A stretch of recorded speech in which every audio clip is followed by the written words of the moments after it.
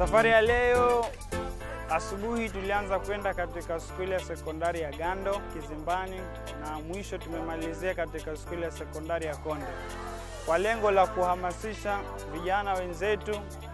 kuweza kujitahidi katika masomo yao ili kuhakikisha kwamba wanafanya vizuri katika mitihani yao ya mwisho, na tumejikita zaidi kuhamasisha wanafunzi waliokuwepo kidato cha sita na kidato cha nne, lakini hata wale waliokuwepo form 3 na kida, kidato cha tatu na kidato cha tano pia tunawajumuisha kwa sababu wao ndio wahiti, ni watahiniwa watarajiwa katika mitihani ya kidato cha nne na kidato cha sita.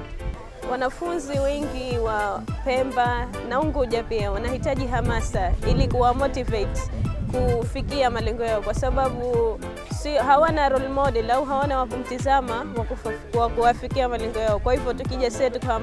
tukiwahamasisha, tukiwapa siri ya mafanikio yetu kidogo, nao wapata watapata mwamko kutimiza malengo yao.